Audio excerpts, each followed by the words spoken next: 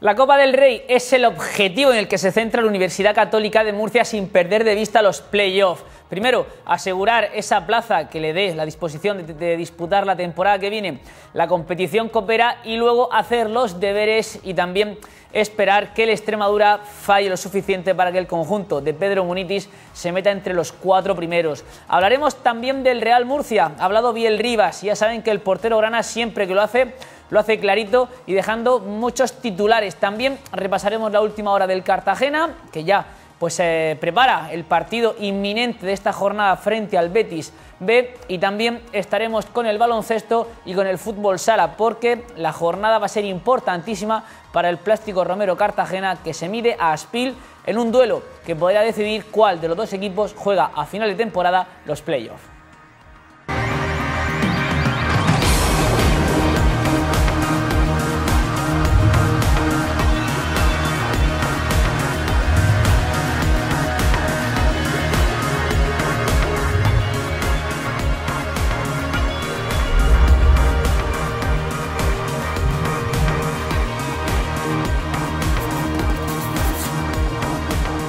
De que, de que el equipo no cumpla los objetivos lo tenemos los, jugadores.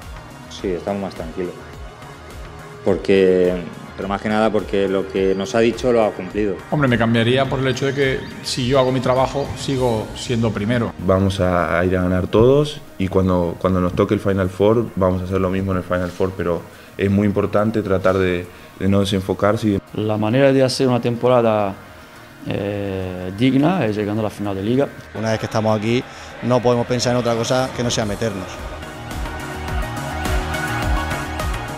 ¿Qué tal? ¿Cómo están? Muy buenas noches. En la Universidad Católica de Murcia que buscará este próximo sábado por la tarde en la condomina su primer triunfo o el primer triunfo desde la llegada de Pedro Munitis. De momento, el técnico cántabro tiene un balance de un empate y el resto derrotas. Ángel Jover, buenas noches. Buenas noches, Soto. Y es que las muchas, pocas opciones que tenga Lucán, tanto de disputar o clasificarse para la Copa del Rey como de apurar las opciones de meterse entre los cuatro primeros, parten de la base, de la primicia, de, la premisa, perdón, de bueno, pues empezar a ganar sus partidos. Sí, no pueden acumular otro fallo. Eh, de momento las matemáticas siguen haciendo posible esa clasificación para el playoff y a eso es lo que se agarra tanto Munitis como sus jugadores, como el Universidad Católica. Y bueno, ya hemos visto también que además de esa clasificación para el playoff, pues van saliendo objetivos secundarios como es, como has dicho en la introducción, pues asegurar la, Copa, la participación en la Copa del Rey del año que viene.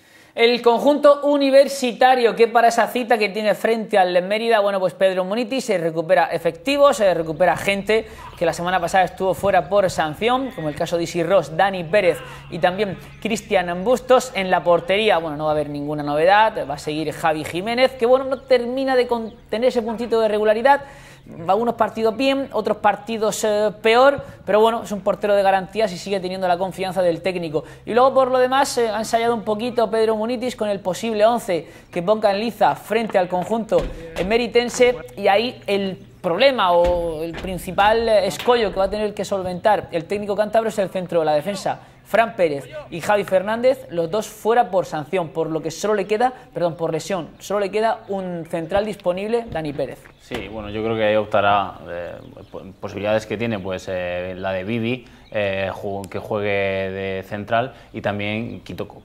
Bueno, pues son las dos opciones que baraja el técnico del Universidad Católica de Murcia. Sea quien sea, va a formar pareja con Dani Pérez, que bueno, pues que comenta que aunque van partido a partido, el objetivo de la Copa del Rey está ahí presente al igual que los playoffs. Yo creo sinceramente después de la racha que llevamos lo que se piensa es en el próximo partido y, que, llegue la victoria cuanto antes porque sí que es verdad que en esta segunda vuelta creo que hemos ganado tres partidos en, toda la segunda vuelta y es bastante poco y, y llevamos mucho sin ganar desde el partido del Huerva y más mirando del playoff que está súper complicado, de la Copa de Rey, lo, que miramos es, que es coger buenas sensaciones y, esto pasa por el fin de semana por Mérida. Lo ha dicho Dani Pérez, tres partidos ganados en la segunda vuelta. Por ahí se entiende que, el, que Lucán esté a 7 más 1, a 8 puntos del playoff. Se le está haciendo muy largo el campeonato, sobre todo esta parte final.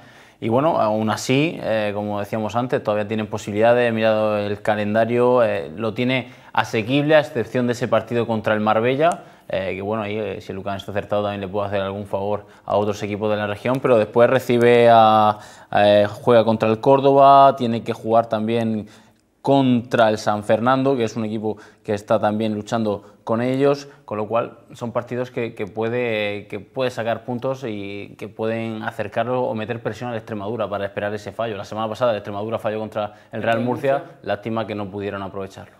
El Universidad Católica de Murcia que vive, una temporada atípica porque son tres eh, los cursos que ha estado el conjunto de Lucán en Segunda División B. El primero, recordamos que descendió con Luis García Tevenet y los dos siguientes, después de volver a ascender, primero con Eloy Jiménez, terminaron segundos, jugaron playoff y se quedaron pues, a las puertas de entrar en la segunda división y ya sabemos que la última temporada en segunda división B cómo terminó con el ascenso del conjunto por aquel entonces dirigido por José María Salmerón. Una temporada diferente para Lucán como club y también diferente para Dani Pérez que desde que ha estado en la Universidad Católica de Murcia siempre ha mirado más hacia arriba que hacia abajo. Hombre, comparado con, con los años que, que he estado aquí anteriormente, eh, bueno, a nivel de objetivo pues, pues no se puede comparar porque el primer año del hoy, pues a lo no teníamos un objetivo tan alto porque éramos recién ascendidos y, conseguimos un buen objetivo que fue quedar segundo y hacer un, buen playoff y, al año siguiente con Salmerón pues, pues pusimos la guinda ascendiendo. Y este año sí que es verdad que, incluso con un presupuesto más alto o, con, o incluso con, con, un gran equipo pues, pues no hemos cumplido el objetivo que era entrar playoff y la verdad que que por ese aspecto pues, pues estamos todos jodidos y, bueno, sabemos también cómo es la segunda vez, sabemos que es una categoría súper jodida y este año se ha dado así, las circunstancias han llegado así y, bueno, al fin y al cabo pues hay que seguir tirando por adelante. Y sin querer señalar a nadie, pero al final Dani Pérez tiene muy claro quiénes están siendo los culpables de la temporada de Lucán. Entrenador, jugadores, director deportivo, esto es lo que decía el central sevillano. Yo la, mayor parte de culpa siempre se la he hecho a, a los jugadores. Aquí el entrenador, por, por, mucho, vamos, esta temporada se ha demostrado que han pasado cuatro entrenadores y el equipo ha seguido la, la misma dinámica. Yo creo que, que, bueno, es lo que te he dicho antes, es un poco eh, las circunstancias, eh, momentos que no hemos estado bien, eh, momentos que hemos estado bien y a lo mejor se nos han dado mmm, la vuelta porque recuerdo partidos como el Murcia en el último minuto, el Inés en el último minuto, que, que, son partidos que te pones ahí a suma punto, a suma punto y estaríamos en otra situación. Entonces, las circunstancias vienen así, eh, este año por, por, lo que sea, pues han llegado cuatro entrenadores, pero, pero vamos, yo creo que la culpa de que, de que el equipo no cumpla los objetivos lo tenemos los, los jugadores.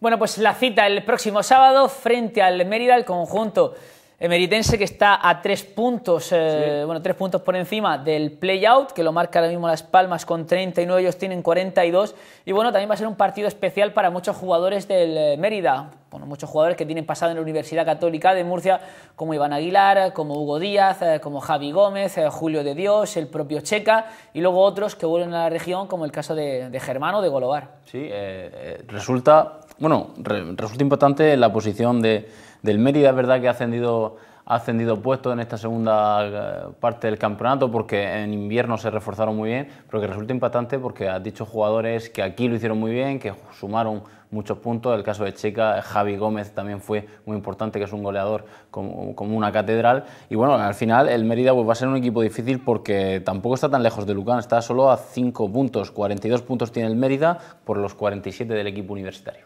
Bueno, pues eh, el domingo por la noche veremos qué ha hecho el Lucán y se ha conseguido la primera victoria de la era Pedro Munitis y si le sirven esos tres puntos para acercarse primero a la Copa del Rey y luego dependiendo de lo que haga la Extremadura para recortar distancias con el cuarto clasificado. También mirando hacia arriba está el Real Murcia, el conjunto grana que ya ha trabajado a puerta cerrada. Ya saben que como todos los jueves, Salmerón se guarda esa bala para trabajar estrategia, para trabajar también un posible 11 que salte esta semana para medirse a un rival muy complicado como el Badajoz, más en tierras eh, extremeñas, porque allí solo ha ganado el Melilla, lo hizo en la jornada número 5, ya ha llovido, han pasado muchos rivales a continuación por, eh, por ese terreno de juego, no ese que estamos viendo, sino por el terreno de juego del Badajoz, y nadie ha conseguido sacar los tres puntos.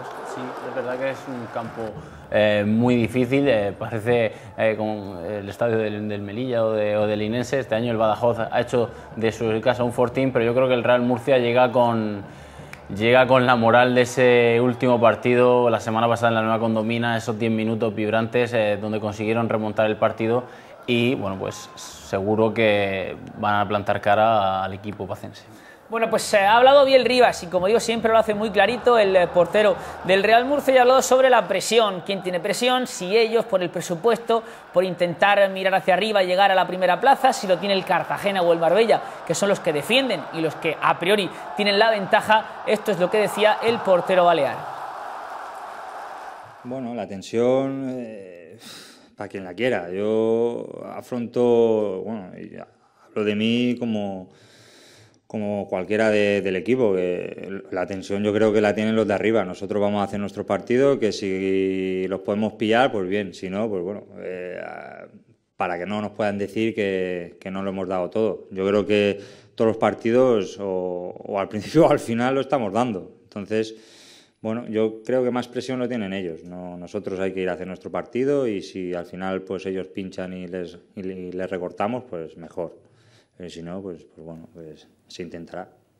La presión que forma parte de ese juego psicológico dentro de las últimas cuatro jornadas y otro aspecto que puede influir o no, dependiendo al final de cada uno, es el tema de los horarios. Jugar antes, jugar después, si te gusta jugar sabiendo que ha hecho tu rival, si te gusta jugar primero y meterle presión. Yo creo que es que eso va eh, primero en cómo te salga. Eh, la jornada al final se saca y después va en cuestión del jugador, del entrenador e incluso habrá jugadores en la misma en la misma plantilla que piensen diferente. Eh, al final, eh, si juegas antes, pues eh, tú ya haces tus deberes y que se preocupen los demás, y si juegas después, pues ya vas con la calculadora en la mano sabiendo qué es lo que tienes que hacer para sumar puntos.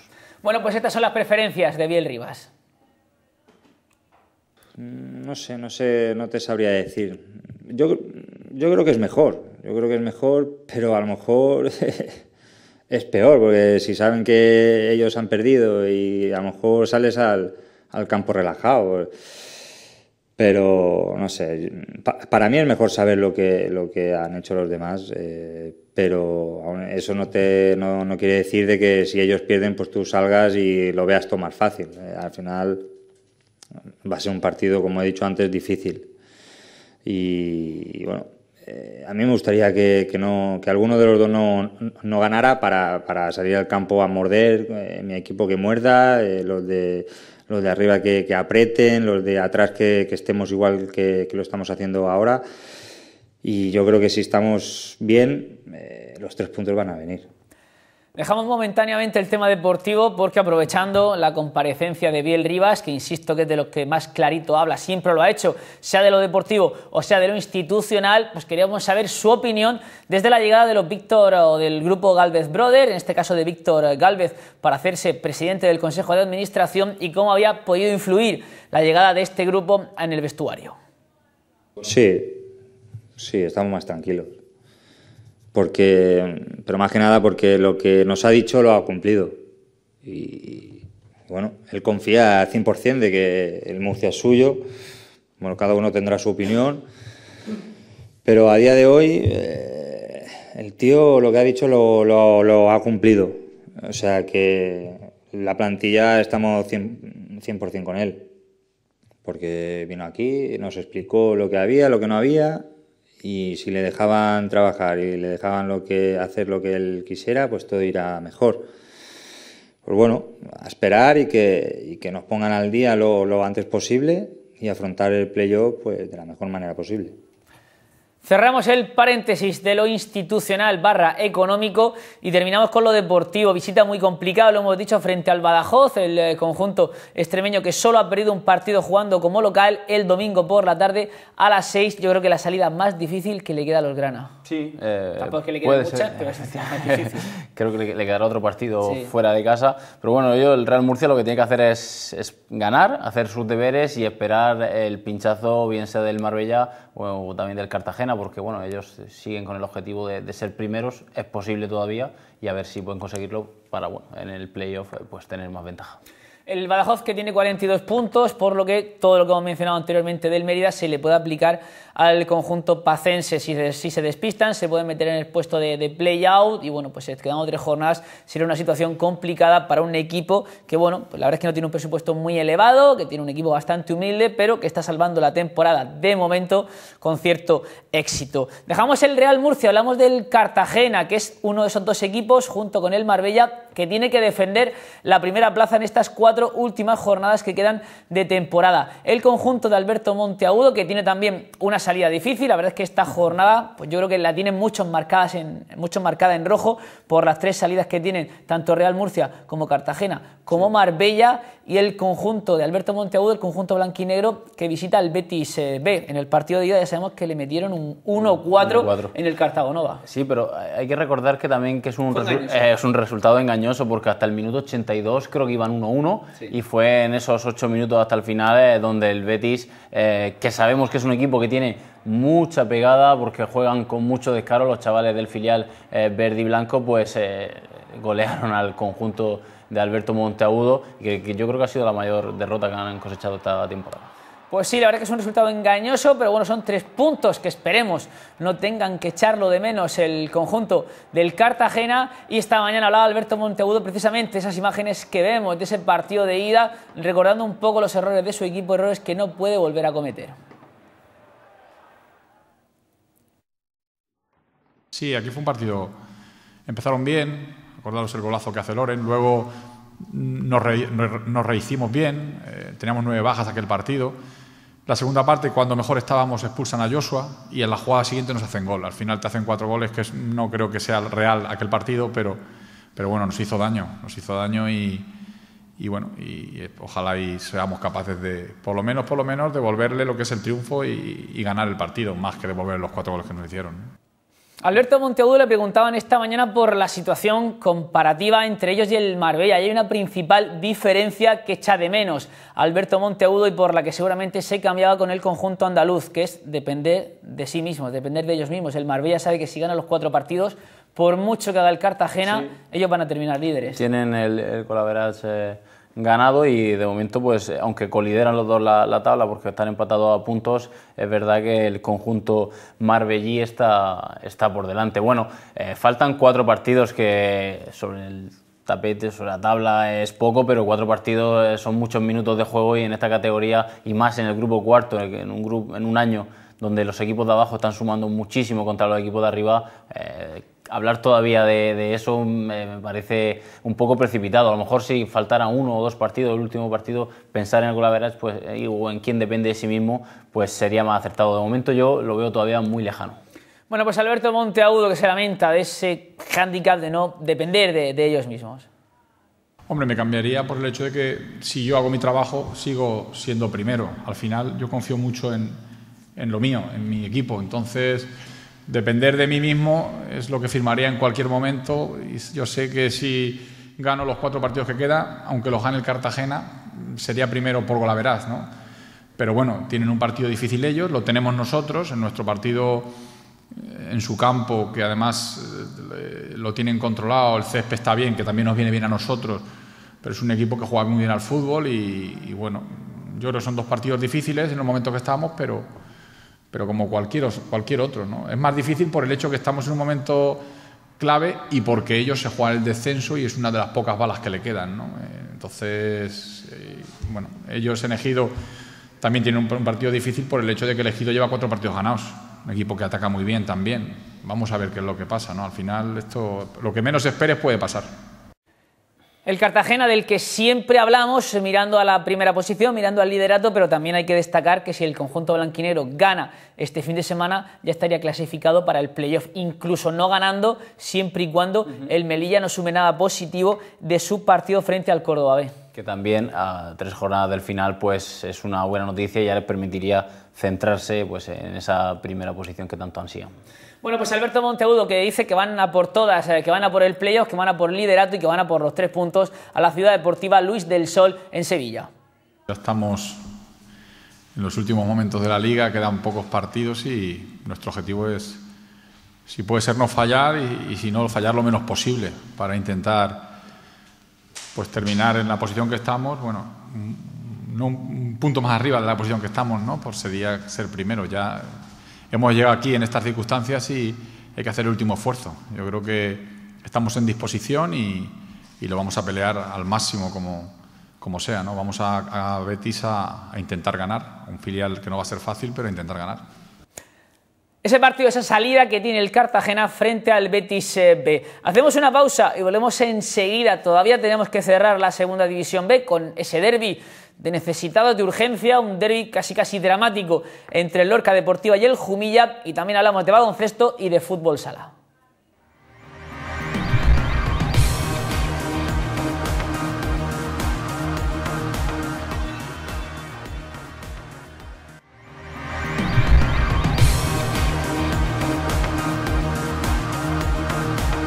Hemos hablado de todo lo que se está jugando por arriba, el sueño, el objetivo del playoff, también las opciones que le quedan a la Universidad Católica de Murcia de meterse entre los cuatro primeros. Ahora vamos al drama de la parte de abajo. Y el drama, pues este fin de semana tiene dos claros protagonistas, el Lorca Deportiva y el Jumilla. El que caiga, Ángel, seguramente, no matemáticamente, pero sí virtualmente, diga adiós a la categoría de bronce. Bueno, en el caso, yo creo que eh, si el Lorca Deportiva pierde sí que eh, se consumaría el descenso. En el caso del Jumilla, si es el Lorca Deportiva el que gana, pues empatarían a puntos. Pero es verdad que ah, les ha faltado fuerza a los dos en este sprint final por, por la salvación.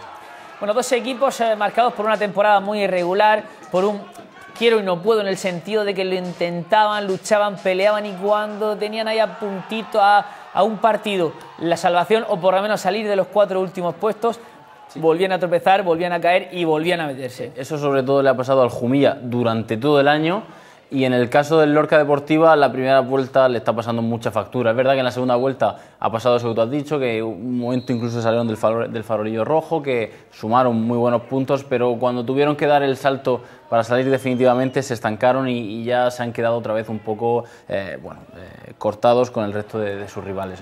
De hecho ahora mismo están últimos con 32 puntos a, a 2 del Betis y a 3 del Jumilla. Son dos equipos eh, con trayectorias o con una temporada muy similares. Eh, dos malos comienzos de temporada.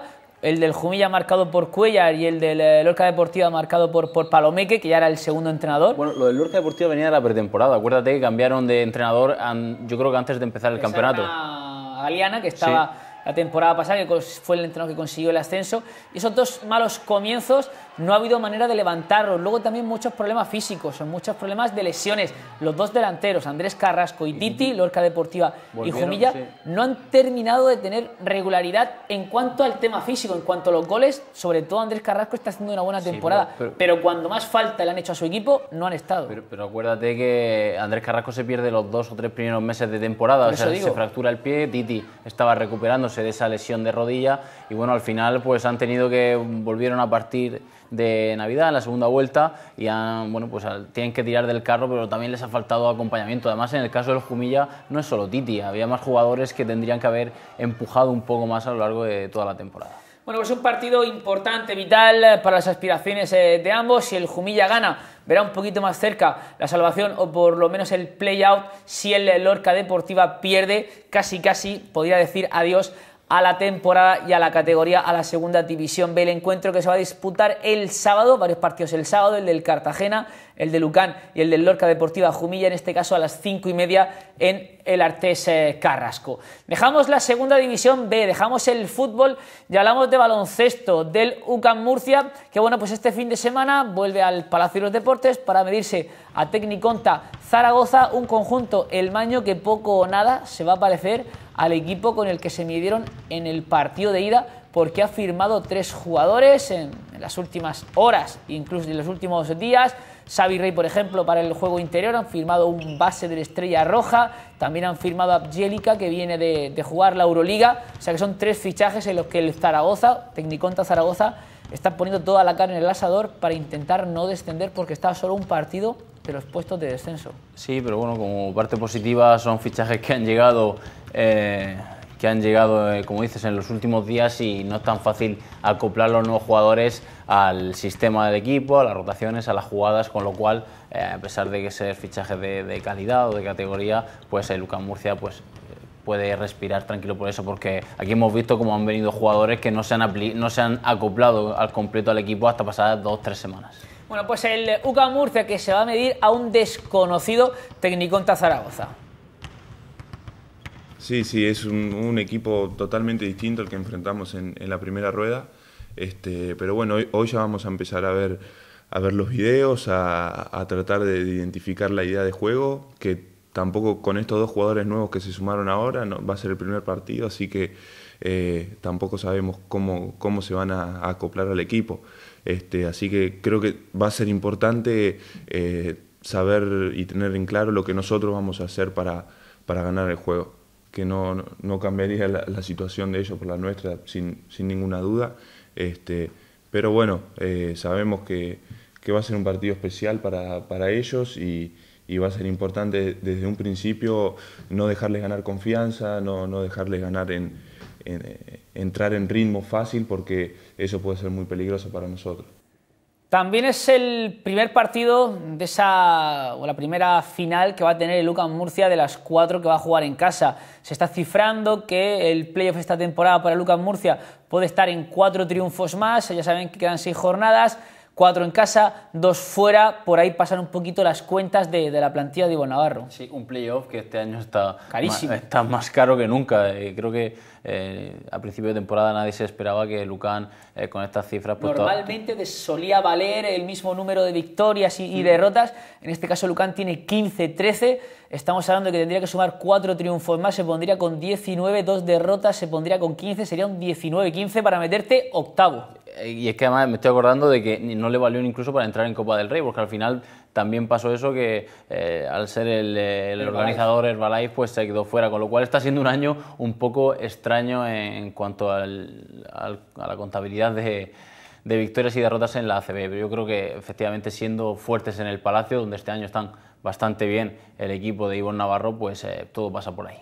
Bueno, pues todo pasa por ahí, todo pasa por casa, incluido el, el playoff por el título tratamos de, que en nuestra cabeza, en nuestra, en nuestra mentalidad, ir partido a partido, semana a semana, eh, pero bueno, eh, aún no siempre juega y, estando en puerta la, oportunidad de jugar playoff siempre, siempre es importante y es lindo para todos, para los jugadores, el cuerpo técnico, para toda la gente del club que trabaja acá, que se lo merece. Pero bueno, no nos podemos desenfocar, tenemos que que ahora pensar en Zaragoza, que va a ser un partido muy duro, este, y si hacemos nuestro trabajo como lo hicimos prácticamente durante toda la temporada, creo que, que vamos a, a, llegar a las últimas fechas con, con grandes chances de jugar los playoffs. Marcos Delía, el pivote argentino que en el último partido en casa alcanzó sus mejores eh, registros en cuanto a anotación con la camiseta de Lucas Murcia y que está viviendo una temporada diferente por los problemas físicos de compañeros, eh, especialmente por las lesiones de Antelo, que bueno, está abocando al jugador eh, argentino a disputar muchos minutos como cuatro. Eso, bueno, pues de alguna manera condiciona un poquito porque es un 4, bueno, pues más centímetros, no es un 4 abierto como el gallego, pierde algo de potencial desde la línea exterior, pero luego también es cierto que gana algo en cuanto a la pintura, un 4 más alto que normalmente los que le defienden y por ahí se tiene que aprovechar Marcos Delía. Bien, eh, sí, me está tocando mucho, es una posición por ahí un, poco extraña porque nunca, nunca jugué de 4 tanto, tanto tiempo, pero bueno eh, nada, trato de, aportar las cosas que puedo aportar de cuatro. Eh, son cosas distintas a las que aporta Antelo, él, juega mucho más abierto con el tiro de tres. Este, pero bueno, trato de, hacer lo mío y de, ayudar al equipo desde esa posición. Sí, lo entreno, eh, trabajo, trabajo siempre en eso, pero después el juego, el juego te da los tiros que tenés que tomar, eh, muchas veces es así, y, yo entiendo también que hoy por hoy, eh, hoy por hoy en mi rol de cuatro tengo que, aportar con otras cosas. Claro, sí, bueno, son, son cosas distintas que, que, por ahí a veces se hace más daño con eso, y bueno, otras veces obviamente más daño con, con un cuatro abierto, este, pero creo que, que, todo se puede compensar y, y hasta ahora eh, Obi y yo lo estamos, lo estamos haciendo bien. El reto del playoff que Lucas Murcia afronta con la sombra grande, amplia de eh, la Final Four de, Grecia, de Atenas. Todavía faltan algunos días. Ya saben que es el fin de semana, el primero de mayo, cuatro viernes eh, semifinales, eh, cinco sábados se descansa y el domingo bien la final o bien el tercer y cuarto puesto. Y es difícil aislarse de todo lo que esa Final Four está generando, está moviendo, afición, equipo, ciudad, aficionados, todo. Eh, es muy difícil. Yo, desde luego, si Iván, Navarro lo consigue, pues tendrá mucho mérito, pero el mensaje es claro y fue claro desde hace dos semanas, que fue cuando se clasificó el equipo. Al día siguiente hubo rueda de prensa de, de Iván Navarro y dijo, no quiero hablar de, la Final Four. Eso fue hace un mes y de momento es verdad que apenas eh, el único, lo único que sacamos son eh, nos olvidamos, nos olvidamos, porque falta mucho, el Lucan se juega mucho, quiere entrar en playoff, que al final era uno de los objetivos principales de la temporada y ahora mismo están centrados en Liga Endesa. Bueno, pues esta semana uno más, nos olvidamos, ahora en las palabras de Marcos Delía. Y eh, después de, haber logrado la clasificación fue lo primero que se habló el otro día fue de no pensar más en eso, eh, en, hablar que nos quedaba un mes para, el Final Four y, que en ese mes teníamos partidos importantísimos eh, de liga. Así que creo que ya al hablar así al día siguiente haber conseguido la clasificación fue como que en nuestra cabeza se instaló que, que ahora los partidos que jugamos son los de liga y, vamos a, ir a ganar todos y cuando, cuando nos toque el Final Four vamos a hacer lo mismo en el Final Four, pero es muy importante tratar de, de no desenfocarse y de mantenerse, eh, como te decía antes, parece que, bueno, que es una frase hecha, pero ir partido a partido porque es la única manera de, de lograr las cosas. Partido a partido el próximo Frente Técnico contra Zaragoza el domingo por la mañana en el Palacio de los Deportes, donde Iván Navarro los tendrá todos, incluido Lima, que esta semana hemos visto que ha ido un poquito más al, al margen, con un ritmo menor, bueno, viene arrastrando problemas físicos durante las últimas semanas y necesitaba un poco de descanso el pívot brasileño de Lucas Murcia. Pero insisto en que esta mañana ya nos han confirmado que va a estar, va a estar al 100% para que Lucas Murcia recupere su mejor versión, capacidad reboteadora, ofensiva y defensiva, mucha intensidad y una gran defensa. Dejamos el baloncesto y nos metemos en el tramo final para hablar de fútbol sala, empezando por el Pozo Murcia, los dos equipos murcianos que afrontan estas últimas jornadas de manera diferente. Los charcuteros ya saben que del primer puesto se olvidan y del segundo puesto pues casi casi también, porque bueno, pues los fallos que han tenido empezando por el último frente a Palma así lo han querido. Sí, desde luego Palma este año ha, sido el ejecutor de, de, las aspiraciones del Pozo Murcia, tanto en Copa de España como en esa segunda posición. La semana pasada pues eh, se impusieron al equipo murciano y aunque es verdad que, el que Barcelona todavía puede perder porque está haciendo una liga muy, muy irregular, pues pa parece poco probable. Entonces eh, yo creo que ya el equipo de duda se ve abocado a esa tercera posición que le da una ligera desventaja en unas teóricas semifinales de playoff. Hemos visto a Alex trabajando al margen, una baja para mañana frente a Catgas. A esa baja se suman la de Fernando, se suman también la de Andresito y vuelve Marinovic eh, después eh, de estar recuperado de una semana donde también ha tenido varios eh, problemas. Lo hice, o lo decía Ángel, también lo decía Duda esta mañana, un poquito estas dos últimas jornadas se han convertido en un trámite probar, probar, eh, no es probar, pero sí ensayar, ¿no? Sí entrenar, sí seguir dando, dando pasos. Bueno, se puede llamar también de alguna manera probar cosas, pero es eh, utilizar esas, esas dos semanas para cargar, para um, físicamente ponernos fuertes sin el miedo a a pasarnos de rosca de cara a, cada partido y no, no, rendir lo suficiente. ¿no? Claro que es un riesgo siempre. Cuanto, cuanto más partidos eh, dejes de ganar o no hagas bien, pues más críticas, más ambiente de fuera, pero bueno, hay que arriesgar. Duda que reconoce que las últimas dos jornadas frente a Catgas, mañana viernes y frente a Segovia para cerrar la fase regular se han convertido en un trámite y también es consciente de que la única manera de salvar la temporada mala de momento que ha hecho su equipo es como mínimo clasificándose para disputar la final por el título de liga. La manera de hacer una temporada eh, digna es llegando a la final de liga por nuestra exigencia, está claro, esa es nuestra exigencia. Eh, si nosotros tenemos como el mínimo, el mínimo, el mínimo, eh, estar por delante de Inter y Barça, que es por lo menos valer lo que, lo, lo que, lo que cuesta, de, por, delante, por detrás de Inter y Barça solo, eh, en la Copa de España no hemos estado, en la Copa de Rey hemos perdido contra otro equipo inferior presupuestariamente, pues ahora nos toca en la liga pues compensar esos dos, esos dos fallos. Eh, eh, eliminando a un, a un grande que sería en el caso del Barça y estando en la final. Y es que lo ha dicho Duda, Ángel. eh, Supercopa de España, nada. Copa del Rey, nada frente a Plástico Romero. Copa de España, nada. Eliminado en cuartos frente a Palma. Es lo único que- que le queda es la Liga. Eh, Bueno, en la Supercopa de España es verdad que tenían muchas bajas, pero apenas compitieron contra un Inter Movistar muy fuerte, recién reforzado con Bebe.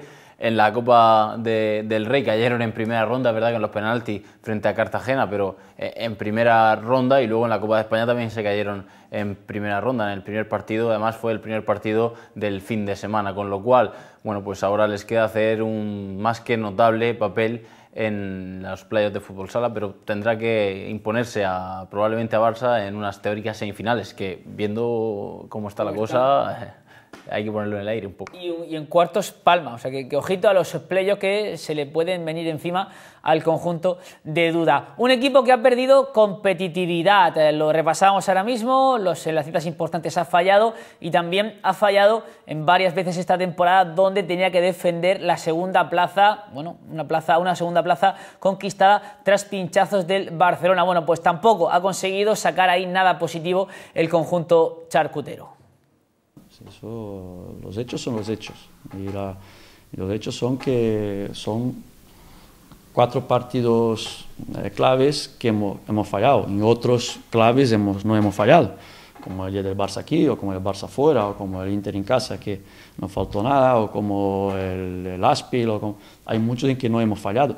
Pero hay cuatro situaciones eh, importantes que hemos fallado, que fueron las dos contra Palma, la Liga y la, en la Copa, contra Cartagena en la Copa del Rey y contra el Levante en Pisa del Levante en ese momento, ¿no? que era momento de mantener el segundo puesto. Luego volvemos a recuperarlo, pero mm, son puntitos que hemos dejado en el camino que, que, que también han dejado puntitos de Inter y Barça, si no, no estaríamos eh, con la posibilidad de terminar la liga a tres puntos de Inter, si ganamos dos partidos y a, y a dos puntos o un punto del Barça, ¿no? estaríamos todos a un partido, por eso da más rabia todavía que, que hayamos fallado.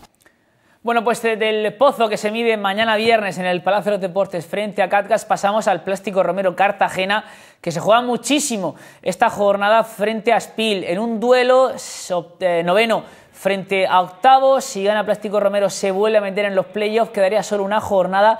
Ellos sí que dependen de sí mismos, hablando antes de hablábamos del Cartagena y del Marbella en Segunda División B. Además juegan en casa, se tienen que aferrar con uñas y dientes a esa posibilidad, sacar los tres puntos y estarían casi casi en playoff. Efectivamente, esto sí que es prácticamente una final, pero es que es verdad que el Plático Romero desde que jugó la Copa de España ha tenido eh, un final de temporada bastante irregular, se ha dejado muchos puntos porque además recuerdo que ellos estaban octavos clasificados pero con una diferencia de 7-8 puntos eh, sobre el noveno, sobre el que eh, hacía corte con los playoffs y se han dejado muchos puntos por el camino y ahora llegan a estos dos últimos partidos jugándose el todo por el todo.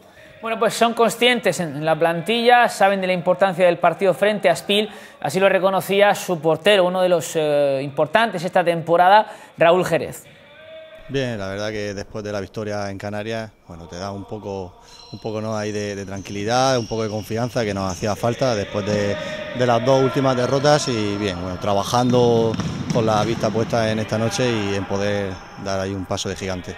Sí, el partido contra Inter nos vino muy bien para volver a coger confianza y coger sensaciones y bueno, lo culminamos con, con la victoria en Canarias, que, que eso bueno, pues nos da, nos da alas ¿no? para, para ahora luchar. Eh, Sí que es verdad que ya a esta altura de la temporada eh, el físico se nota, pero bueno, es un partido como, como el de esta noche no, no, no- se nota el físico, hay, no, hay, no hay cansancio. Bueno, nosotros estamos preparando el partido a conciencia, ¿no? sabiendo que, que ser una final, eh, no lo podemos tomar de otra manera. Eh, esperamos, la verdad, un pabellón con, con bastante gente. Yo creo que, que la afición también está ilusionada ¿no? porque podamos conseguir el playoff y, y yo creo que lo vamos a notar. ¿no? Eh, al final, conseguirlo o no, bueno, pues así a priori pues mm, sería no- no- no- digamos que no, no es que te da igual, ¿no? Pero eh, nosotros la temporada eh, no estaba hecha para esto. Sí que es verdad que te digo que una vez que estamos aquí no podemos pensar en otra cosa que no sea meternos. Bueno, pues con el Plástico Romero Cartagena le ponemos el punto y final. Ángel, muchísimas gracias. Un placer, hermano. Mañana siempre. más, ¿no? Mañana más con Felipe Meseguer. Bueno, pues no se lo pierdan. Nosotros nos vemos el domingo en Popular Deportivo La Tertulia para analizar lo que esperemos sea una buena jornada para los nuestros. Adiós.